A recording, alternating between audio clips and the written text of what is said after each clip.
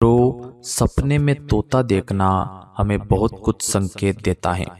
वो हमें कुछ कहने आया है। संकेतों के माध्यम से कुछ समझाने आया है।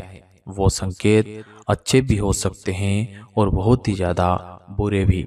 सपन शास्त्र के अनुसार, वेदों के अनुसार इस छोटे से वीडियो के माध्यम से हम जानने की कोशिश करेंगे।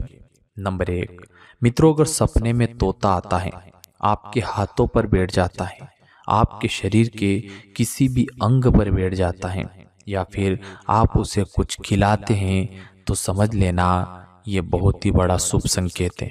अचानक बड़ी धन प्राप्ति आपको होने वाली है। आपके अटके कार्य पूर्ण होने वाले हैं। अटका पैसा प्राप्त होने वाला है। मित्रों, अगर सपने में तोता आपको पिंजरे के अंदर कैद दिखाई देता है तो ये बहुत ही अशुभ संकेत है। कोई बड़ी परेशानी बड़ा दुख आपके जीवन में आने वाला है। मित्रों सपने में बहुत सारे तोते आपको दिखाई देते हैं। तो इसे भी शुभ संकेत माना है। कर्ज से आपको मुक्ति मिलने वाली है।